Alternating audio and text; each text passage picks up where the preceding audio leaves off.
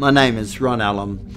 I really got involved in scuba diving and later cave diving, and I joined university caving clubs and diving clubs, and I was always, I suppose, going on expeditions and diving with you know, scientists or academics for science, and that gave me opportunities to go to some very special places because of you know their research. It would open doors. Decided to join uh, a documentary film team as a sound recordist, come yeah underwater cameraman, come technician, come repairer, come maker of equipment for the expeditions uh, that we were to do. And uh, the expeditions took us to the Galapagos, Costa Rica, the Caribbean.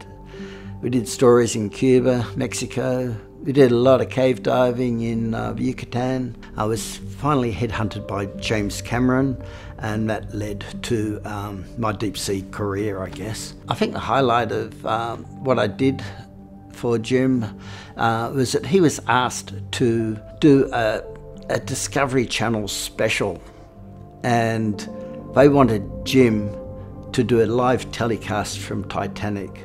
I got a phone call in Australia and was asked to go over to the US, and this question was posed to me Could we do an outside broadcast from a Russian Mir submersible from the Titanic? And we discussed it for a few meetings, a few hours, and basically we decided to do it. I didn't get home for 11 months. Uh, during that time, yeah, know, there's a lot of trial and error, but um, uh, we eventually had a system that worked. And when the day came to do the live telecast, we actually pulled it off.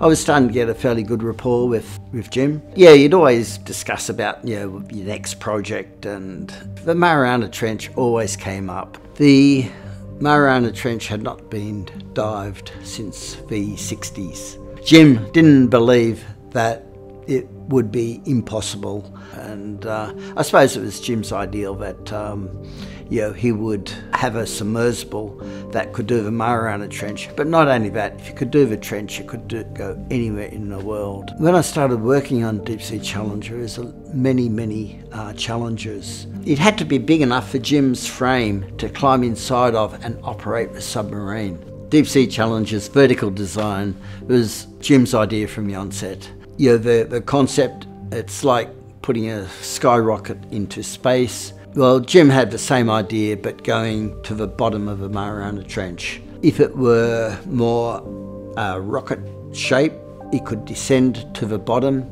But he also studied the strange little animal that swims vertically, but it swims around the bottom. Uh, in a really strange manner, and I've seen one or two myself. So he required us to have horizontal thrusters so he could navigate across the seafloor, you know, when he got to the bottom of a trench. You don't just want to sit in one spot. So he came up with this concept of this fish shaped design. It was speedy to get down, it could maneuver along the bottom without having to change orientation and waste energy and time doing that. And then when it came time for ascent, again, it was like a skyrocket that would go back to the surface.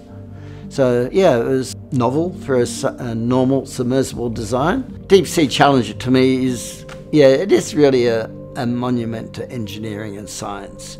I believe we came up with new methods of doing deep sea exploration that are now becoming commonplace you know, in the industry. It did show a lot of people that man can get back uh, under the water safely.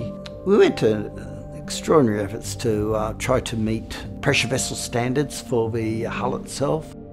Yeah, quite excited that uh, Deep Sea Challenger is coming yeah, back to Australia. It was designed and built in Leichhardt. Its first dive was in Garden Island in Sydney Harbour. Yeah, I'm glad to see it back and I'm sure it's going to attract a, a fairly good audience and I think there is a lot of interest in subsea yeah, exploration.